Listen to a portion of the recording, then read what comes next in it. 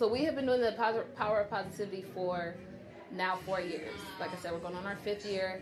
Basically, what we do is we challenge um, people to choose one word. Um, I fell in love with a, a theory that I, I, stumbled upon one day by a pastor named Michael Ashcraft, um, and he wrote a book called One Word.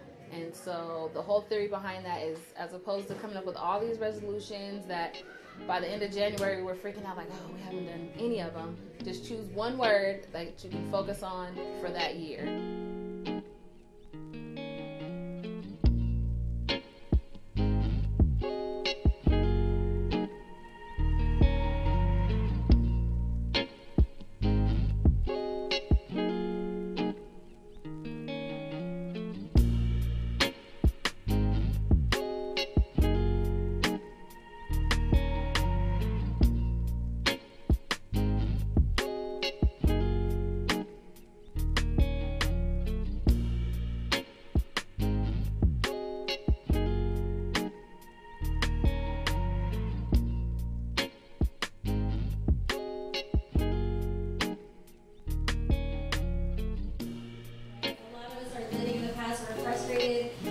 one company that let us go, that one relationship that set us off for a few years.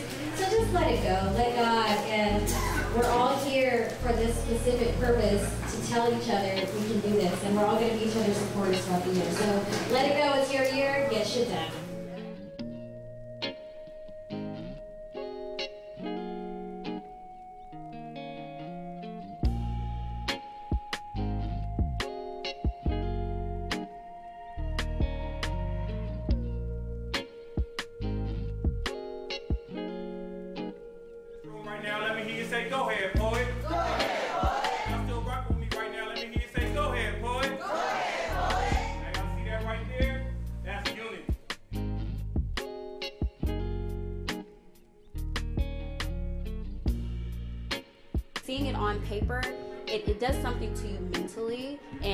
That words have power. And then when you put those words out and it's something that you can look at every single day, it takes you back to that mindset when you were happy, when you were optimistic, when you had those goals fresh in your mind and they were really precious to you.